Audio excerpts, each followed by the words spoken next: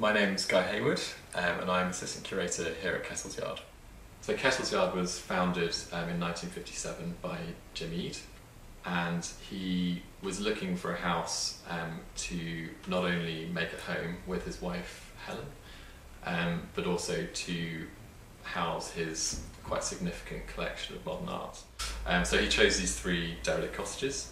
Kettle's Yard House um, houses Jim Ede's collection of art and objects. Jim arranged them in a way that he found harmonious um, and balanced. And this photograph shows the sculpture Bird in Space um, in Brancusi's studio, which was part of a series of seven marble sculptures and um, nine bronze casts. His, his sculptures are renowned for their beautiful simplicity um, and simplification and paring back of form um, almost to the point of abstraction, um, rather than try to depict um, the structure or, or features of the, the bird itself. The theme of flight and uh, the bird in particular interested Brancusi.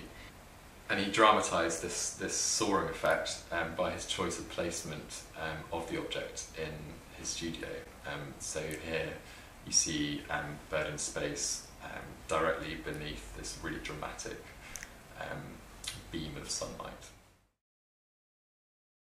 So the, the time that this photograph in particular was taken um, in the 1920s, uh, Jim was a curator at the Tate Gallery.